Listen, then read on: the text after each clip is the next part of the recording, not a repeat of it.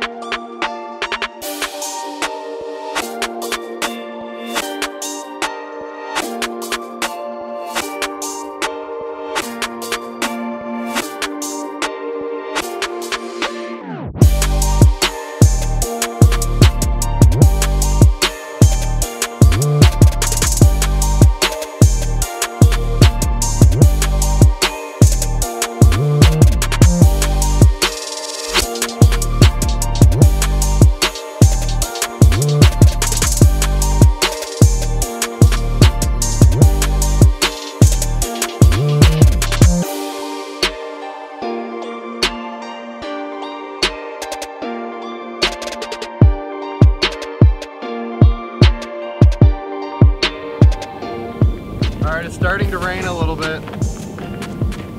Look at these clouds right here.